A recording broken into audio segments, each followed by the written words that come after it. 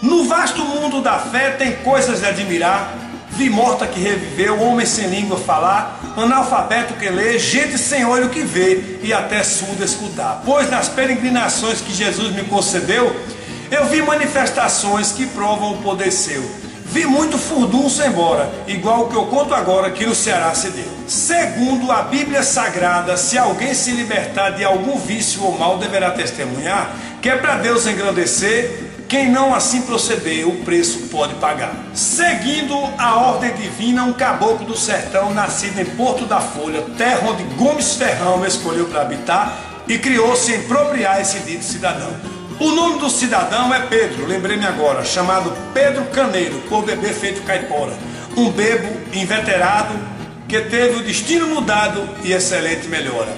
Ali na terra das águas, conheceu o Evangelho, começou a ler a Bíblia, Testamentos Novo e Velho.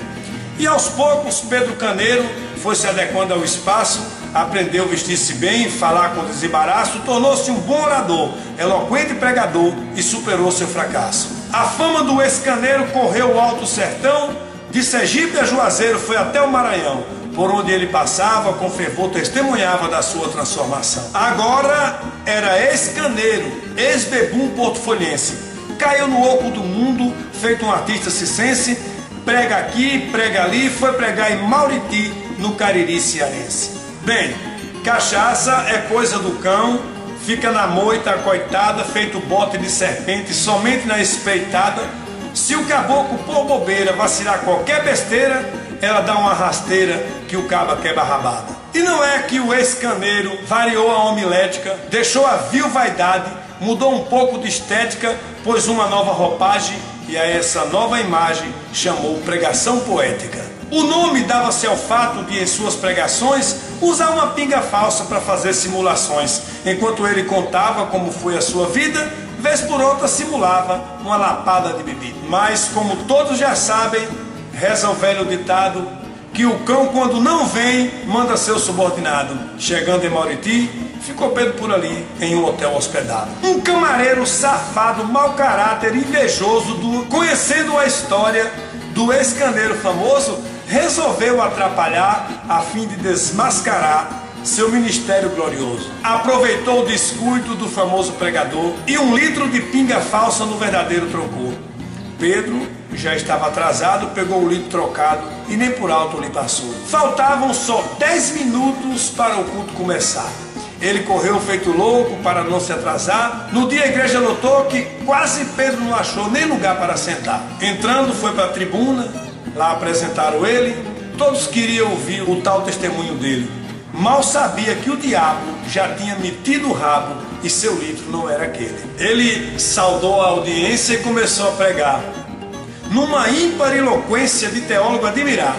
E como era seu cunho, para contar o testemunho, começou a simular. Pegou o litro de cana, o outro copo na mão, botou perto do arame e disse assim: Meus irmãos, era assim a minha vida, e ingeriu a bebida sem a menor preocupação. A bicha desceu rasgando, feito tiro de escopeta. Pedro Velho trancou os queixos, fez umas oito caretas. A pinga foi feito mola do bucho para a cachola e a coisa ficou preta. Como era pregação, tinha que continuar.